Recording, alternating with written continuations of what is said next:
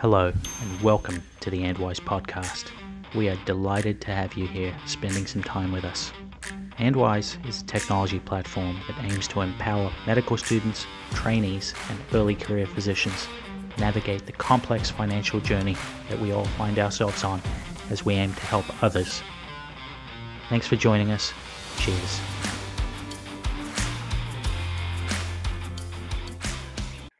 Hello and welcome to the Andwise podcast. I'm so delighted today to be joined by one of my old med school classmates, Dr. Rikki Racela. He is a neurologist. He went to Princeton for undergrad. He went to Robert Johnson Medical School. He did his neurology training at New York University, where I did my internal medicine training. And he's just one of the most honest, down to earth, and nurturing people I know. He's so generous with his time. He's one of our medical advisory board members at Andwise, and he's just so open about his own financial journey. Rikki, welcome. Oh, thank you so much, Varun. And uh, yeah, everybody, I, I pay Varun to like me and say those good words.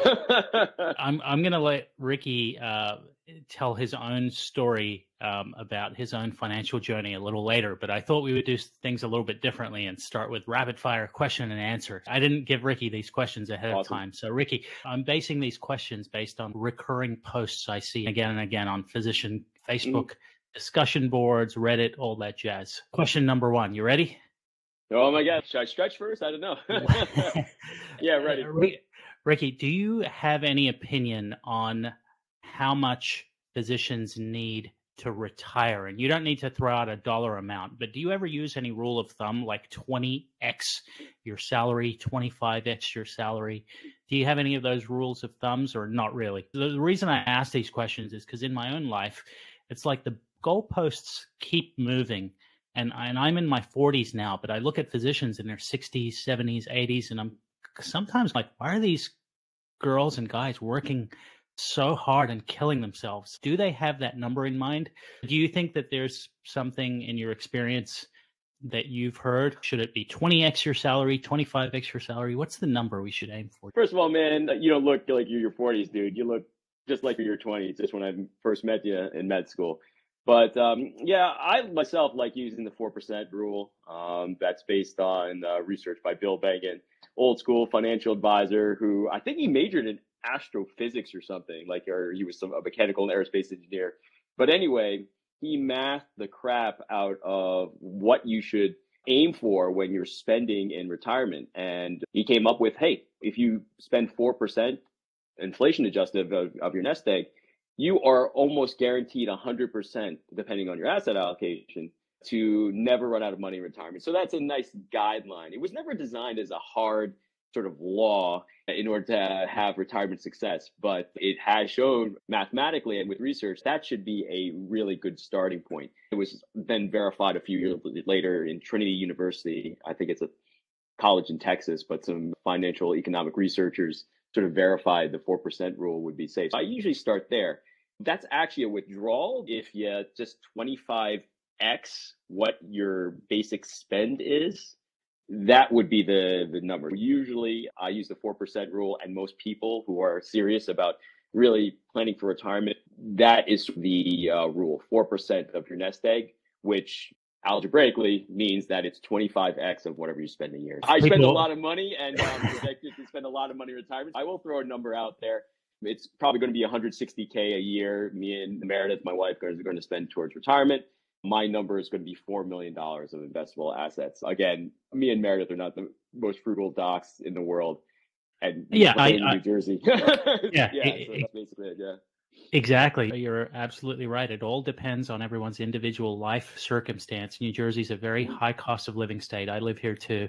We're at opposite ends of the state. I'm near Philly, you're near New York, and mm-hmm. property taxes are very high. Everyone's life situation is going to be different, but I love that you brought up the 4% rule for the beginners and those that might be driving.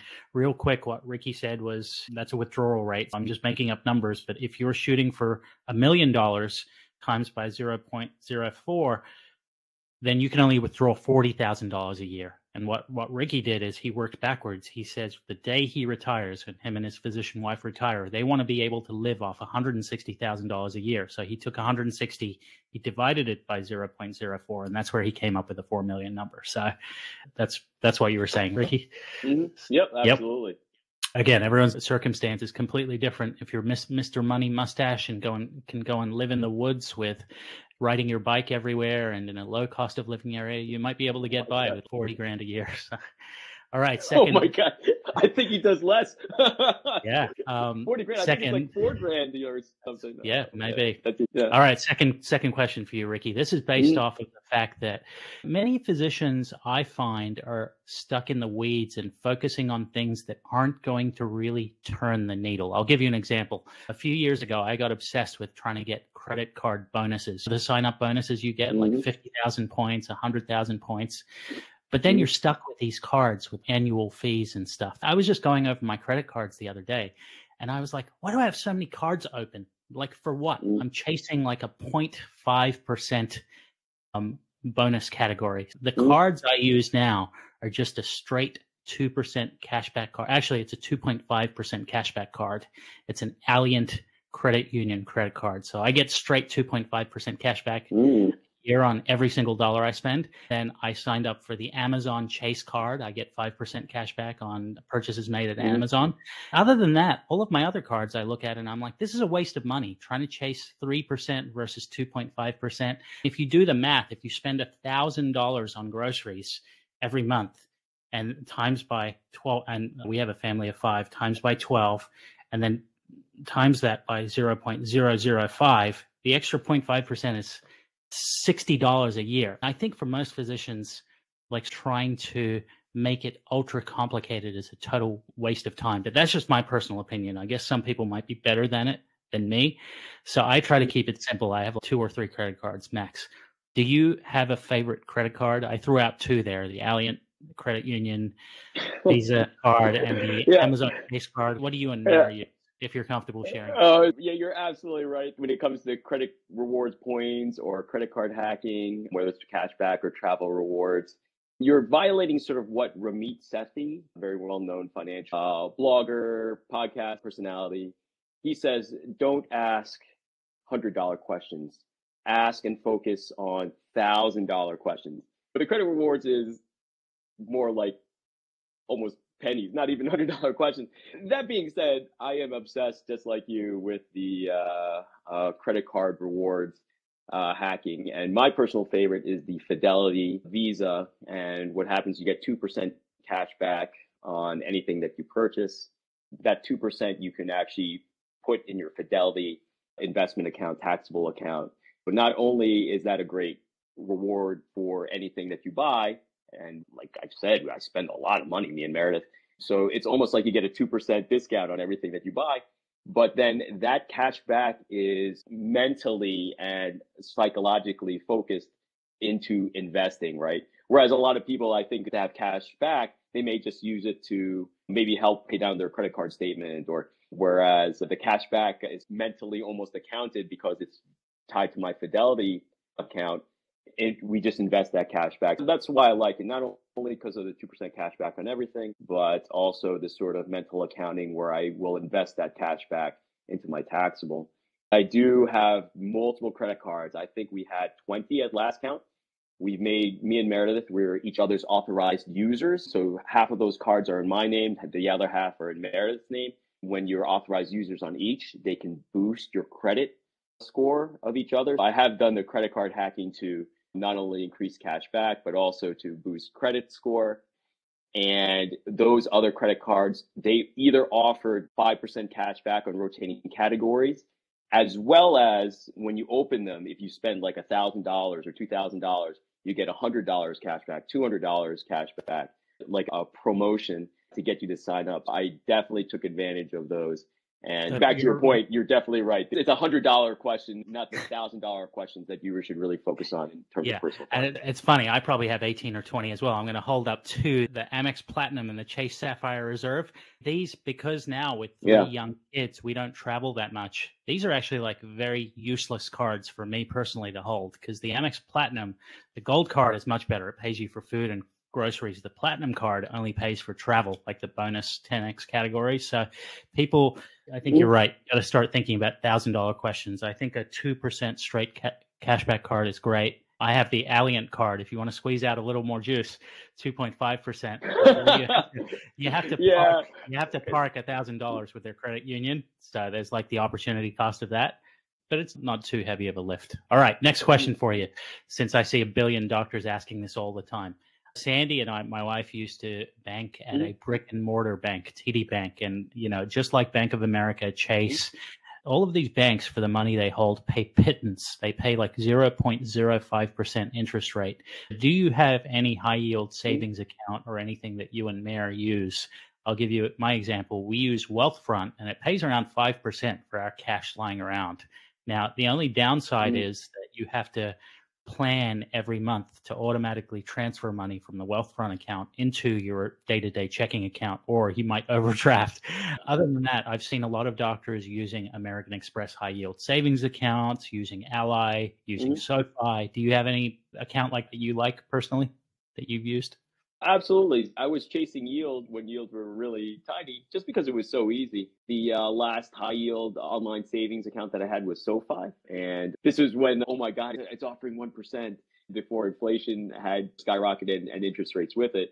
That was my favorite. But now with rates being like so much higher, it doesn't seem like the extra squeeze is, is worth it. I've actually taken all our high yield savings uh, out of the uh, online space because now we use a brick and mortar bank, PNC, and I get 4.3% uh, on my savings, the high yield savings.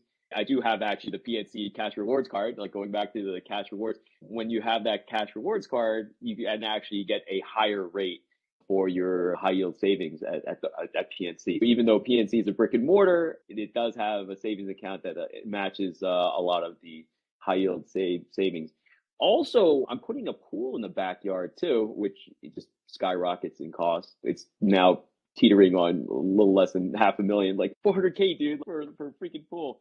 Most of it's landscaping. Anyway, it really helps to have the brick and mortar because you can write the checks quickly. The brick and mortar place, if I need cash, because sometimes some of the work, if you pay cash, they'll, they'll give you a discount. It, just for my needs right now, it helps to have that brick and mortar and at, at PNC, at least, I, I got a deal where the high yield is really high yield and comparable to the online non brick and mortar high yield banks.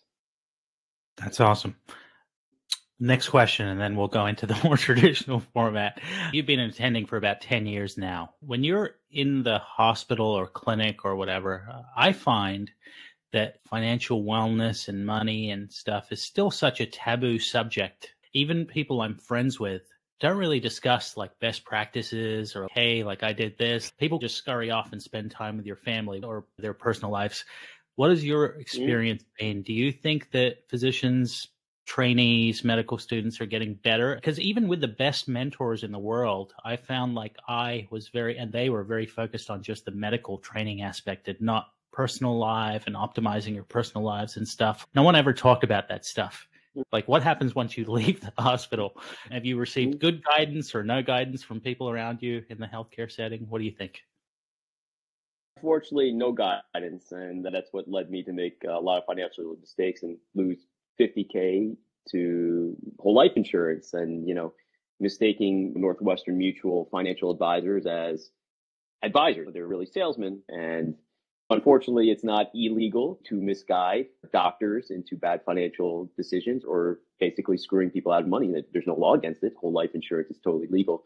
I think the problem is that because it's not illegal to be screwed by the financial services industry, that's why doctors are taken advantage of, like me, and then now I lose money. As doctors, it is such a taboo subject to not talk about money the only way you think that a financial advisor will be bad or will be bleeding you out of money, I was thinking, oh, it's not illegal, so they can't really be screwing me. I think because we have a trust that the law will protect us from being screwed, even though it's obvious there's no law against screwing people in this country. Used car salesmen do it all the time, right? So do financial quote unquote advisors. I think that inhibits doctors from saying, oh, I need to talk to other people about my finances to to protect myself. I think that's one. You have this sort of simplistic idea that oh, if it's not illegal, eh, they're not going to screw me. Otherwise, they go to jail. So that's one. Number two is that already as doctors, you're expected to be rich, right? By virtue of just having an MD and being an attending. I, uh, it, I'm being facetious, but then not really. I, will just rub up my, my MD diploma against an ATM and just it starts spouting off uh, cash, like thousands of dollars, just as long as I'm treating patients and doing good in the world. And uh, so I think that also inhibits doctors from talking about their their financial lives is because you assume you don't need to talk about it because every doctor is rich, right? And finally, number three, and this was definitely a big one for me, uh, learning about finances or budgeting, it takes time. I want to dedicate as much energy as possible to my patients. And in order to get into medical school and become a doctor, I had to give up a lot of my personal life, a lot of my personal time that also includes time to learn finance. And you think that, oh, if I spend more time reading about personal finance, I'm taking away time away from my patients and learning my craft, you know, like neurology. I'm a neurologist. I never thought that being financially illiterate would cause me to be a crappy doctor. And I were writing about this for Andwise, right? That because I was in financial devastation, First of all, I didn't expect it, right? I'm a doctor, right? I'm supposed to be rich. Hell, I'm married to an anesthesiologist. Why are we in $31,000 in credit card debt? I was actually trying to go through patients as fast as possible, trying to make more money to keep up with the $28,000 of whole life insurance premiums and still being in $31,000 of credit card debt because my financial quote unquote advisor said whole life insurance is the best thing since sliced bread and I'll accomplish all my financial goals. I think those three reasons are, are big. And really, I'm trying to break that. I'm the one now at my practice. I'm telling everybody, like, hey, don't buy whole life insurance. It's legalized stealing. Oh, are you budgeting? Are you saving 20% to your retirement? Are you maximizing your retirement accounts? Are you doing the backdoor Roth? I think as I talk about it more, it'll just spread. That's why I like what we're doing here at Andwise with just spreading the word. The, the more voices, the better. You are definitely the evangelist for not getting whole life insurance. I love it. I love the fact that you share your story so openly. It's great. It's fantastic. Oh my God. I can't scream it loud enough because I still continually meet people that have a whole life policy they're still being sold to. Even when I got financially literate, my uh, the, one of the girls I practiced with, she bought a whole life policy. She had bought it years ago, but and I was, oh my God, this is so pervasive and nobody talks about it, and we really should. Yeah, absolutely. I'm so glad you're so willing to share your story. Thank you. You did a lot of self directed learning using some of the existing financial bloggers that are out there. I know you took a mm-hmm. course about making mm-hmm. a financial plan and stuff. Have you or you and your wife ever had a paid financial advisor? Because one of the things that I see in the physician community are that there's a lot of trepidation and suspicion because a lot of them charge like 1%. Actually, I, I have a physician buddy that's family's probably worth like nine figures and he just pays Goldman Sachs like 2% AUM a year, which is going to add up to millions of dollars over the course of their lifetime. He just doesn't care because he doesn't have the bandwidth to think about this stuff. But a lot of the physician community seems to be split in three camps. Pay other people, which is fine, as long as you're cognizant about the fees. I think you can find a fixed fee only advisor. There's the camp that Bogleheads, White Coat Investor does it themselves, either picks Fidelity or Vanguard and does it themselves. And then unfortunately, there's a third camp that's stuck in indecision fatigue and they do nothing and it's sad they only contribute like to their employer sponsored retirement accounts meanwhile they're not doing much it sounds like you did a lot of self-directed stuff, right? Or did you ever have a financial advisor? Mm, actually, the Northwestern Mutual basically lies and say says I used a financial quote unquote advisor but when they work for Northwestern Mutual or any insurance company. Insurance companies are incentivized to sell product. Even though my buddy at Northwestern Mutual was a CFP, by virtue of him making commission by working for an insurance company, he's automatically incentivized it's very hard. You could be the most moral guy in the world, but when your your paycheck depends on you selling and screwing people by selling as many whole life policies as possible, there's a conflict of interest there. The CFP designation does not like an MD. He's still a CFP. He still works at Northwestern Mutual. There's no punitive damage for making me lose fifty thousand dollars Because of that, I never got another quote unquote financial advisor because it's very difficult to decide uh, who is trustworthy and not. You can't even use the letters at the end of these financial quote unquote advisors' names. Supposedly, the CFP, the Certified Financial Planner, you're taught to be a fiduciary, meaning you do the most optimized thing for your client, not the most optimized salary for you as an advisor. And my buddy had violated that because he works for Northwestern Mutual. He works for an insurance company. It, could have been the same if you work for State Farm or Guardian or whatever. They, if you work for an insurance company, it's very hard for you to be a fiduciary financial advisor, but it's not illegal for you to say you have a CFP. Yeah. I think a lot of people who, like doctors, who don't want to get into this stuff should have, have a financial advisor. Here at Andwise, you will have vetted Tanya, absolutely trustworthy, right? She felt so bad for me with uh, being screwed with whole life insurance. I learned a lot of this stuff from the White Coat Investor, but they also have vetted certified financial planners as well and financial advisors. I think the majority of physicians, I was one of them. I just wanted Northwestern Mutual to take care of me. I just wanted to focus on my patients, man. I didn't know mistaking a financial advisor uh, and, and, mistaking him uh, for an advisor when he was really a salesman. I never thought it would screw me or make me a sh- like a crappier doctor. I was about to freaking curse, man. I, I really just wanted somebody to take care of me and I could just focus on my patients. And then when I retire, I'll have the most money possible. Uh, I only DIY it now because of my experience with a bad quote unquote financial CFP advisor. And I never wanted to do a DIY it. But now I was so pissed off by being screwed by Western Mutual that now I DIY it. The only reason I try to talk about it and, and here at Andwise, being part of the medical advisory board, we're doctors, man. We don't deserve these be screwed. We're doing God's work, man. We're saving lives. We're helping people and their families. Northwestern Mutual should not be allowed to do this to us or the financial industry. Unfortunately, it's not illegal. And the only way to protect ourselves is really to spread the word. And we refer to uh, vetted financial advisors as yeah. well as uh, for myself, I feel more comfortable DIYing. I think, yeah, you're absolutely right. Finding that connection that has some sort of credentials it's low fee. Even then, though, you really have to be involved because no one's going to care about your money as much as you care about your money. I, I have an elderly family member that went with Vanguard personal advisory services, very low cost, 0.3%, but their financial advisor changed four times over the course of two or three years. And their risk allocation really wasn't appropriate for their age and their income. Also, somehow, in the course of multiple meetings with their financial advisor, they left out the fact that they had multiple six figures lying around in cash. It really wasn't invested. They missed all of these upsides in the market and stuff. My point is, even when you get a financial advisor, it's like sort of garbage in, garbage out. Unless you are willing to be completely honest and transparent with this person and to talk to them about your goals and your assets and your your expenditures, you're, you're going to get garbage information out. It's like when people go to the doctor and lie you might get the wrong diagnosis. You might get prescribed the wrong drugs. Yeah, no one's going to care as much about your money as you do. Even if you decide mm-hmm. to go with someone, it helps to have a baseline level of a little bit of education. So that's great. Absolutely. Let me bring up a controversial topic because we both went to quite expensive private undergrads. I went to New York University undergrad when I was a new immigrant mm-hmm. from Australia and my dad and my mm-hmm. mom actually helped me out a lot and paid for the tuition, which back in the day was twenty two thousand dollars a year. I just looked it up the other day. NYU mm-hmm. tuition now, as of today, is sixty five thousand just for commuters, and I commute. Oh my god! Oh. So I, the only debt I have is 160k from medical school only, quote unquote. But I see a lot of mm-hmm. younger kids yeah. coming out with much more, double now. But anyway, my question is: You went to. Princeton, I went to NYU.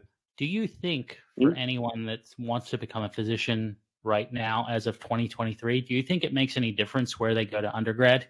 I'm throwing fuel on the fire here because we, we have a buddy that's a vascular surgeon that went to mm-hmm. Cornell and he loves the fact that he went to Cornell. I mean, he talks about it all the time. He thinks yeah, that yeah. Uh, made a huge difference to his career trajectory. But then when he got to Rutgers, Robert Wood Johnson, like all of us, I remember one of the Rutgers mm-hmm. kids being like, "We're all here." Yeah. Do you think mm-hmm. your own children? Do you think if they want to be physicians, do you think it's going to matter if they go to a very expensive undergrad university or if they go to state school?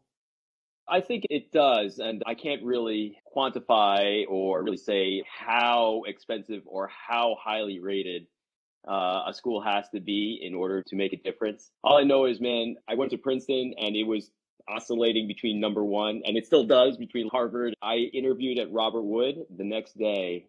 I got in. It was probably only because I went to Princeton. My GPA at Princeton was average, like 3.3. MCAT was like a 35. I, I don't think the scale uh, of that works anymore, but it was pretty good MCAT score. But above 30, uh, like at our time, was competitive, right? I really just got in because of the name. And dude, like when we went to Robert Wood, all those Rutgers guys that they're smarter than me. They are. Remember Neeraj? Neeraj, like he was like for every one of me, there's 10 other guys who had the same MCAT scores, 4.0 GPAs at Rutgers, who didn't get into Robert Wood. They can't take everybody from Rutgers, right? Mm-hmm. Me having the name of Princeton really helped. Neeraj didn't get in right after, and he's super smart, man. He's like a freaking cardiologist in Cali. He's, the very good, very good doctor, very competitive specialty he got into. He had to wait. He had a better GPA than I did. He had better MCAT scores than I did. He had to wait to get in after his interview because I was from Princeton and he was from Rutgers. At least from that comparison. So the name does get you somewhere. I think that's a fair point. How about the next segue into the next question is how about where you go to medical school? Because I'll tell you a funny story. When I was before I changed into internal medicine, I actually did ophthalmology, right? I remember interviewing for these ophthalmology positions in like Manhattan at Columbia, Cornell. And I was in the waiting room with these other medical students, and everyone was like, Oh, I went to Harvard, Columbia, Cornell. And I was like, I went to Robert Wood Johnson Medical School. And they were like, Where's that? And it was in New Jersey, like 70 miles south of Manhattan. So, same question for med school. Do you think it matters where you go for med school? Versus getting into medical school is so competitive nowadays that as you mm-hmm. alluded to a lot of people struggle just to get in. Do you think it matters where if someone has multiple offers should they consider going into more debt to go to a more widely recognized medical school? Do you think it matters? Nope. Go to the cheapest one. Let me qualify. Cheapest sort of md school because really it once you get into a medical school like an american medical school with the md degree it, it really doesn't matter. I know at nyu neurology wasn't very competitive but i got into one of the better neurology programs and we were just from robert wood. It didn't really matter the name at that point. Undergrad yes but once you become like once you get into medical school it really doesn't doesn't matter the name. Even from our class like your freaking wife a freaking genius, right? She's dermatology, like the most, one of the most competitive, right?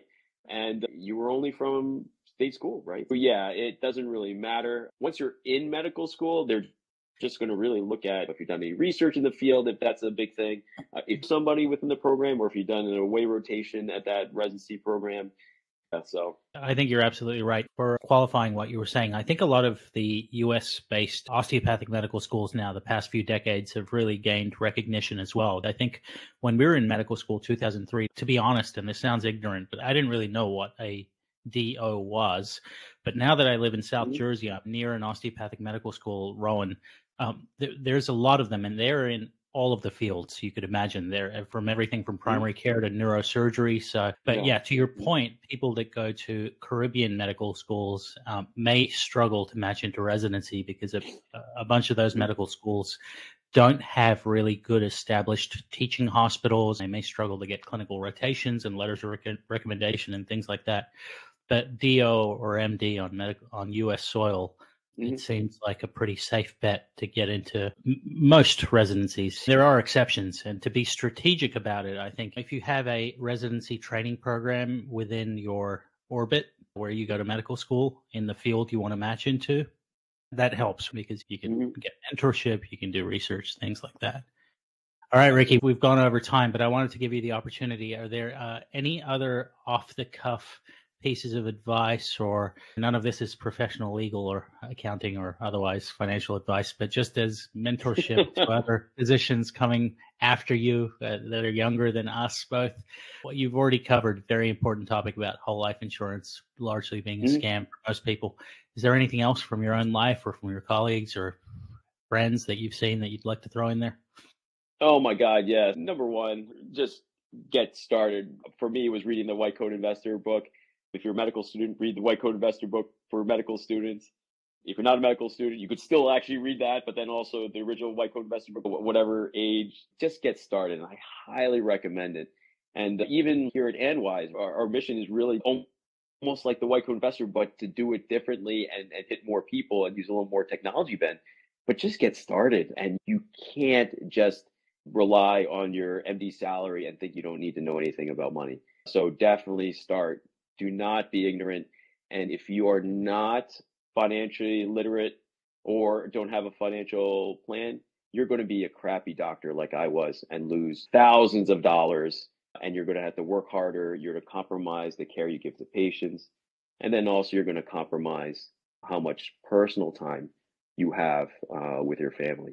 I think you're too hard on yourself. You're a good doctor. You just made some financial mistakes. Oh, uh, oh, I would have been better if I didn't, if I wasn't rushing through patients to pay twenty eight thousand dollars of full life premiums and wasn't in thirty one thousand dollars of credit card debt.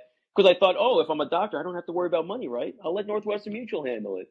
Yeah. And totally wrong. I, I feel so horrible for those patients I rushed through. I did not know being financially stupid would lead me to be a stupid doctor and compromise the care I give the patients. Thank you for all of the wisdom, Rikki. As always, like I mentioned at the start of the talk, it's just so refreshing that people like yourself can be honest with others to mentor them that are coming behind them, stop them from making the same mistakes they did. And any anything else to add? Otherwise, we'll let you go. Thank you so much nothing else, man. And God bless you, man. You're doing a great job with uh, great interview, man. And for uh, and all you do at Andwise, man, and to do all this to help out other docs, uh, it's impressive with with Andwise, and that that's your time away from your family and, and the patients you treat too, man, uh, in order to help other docs, man. So. Yeah, I appreciate it. We'll definitely do a round two because our all of our um you know medical student mentees and financial fellowship participant everyone loves you. So appreciate it, man. Take care. Have a great week. Bye bye. Later.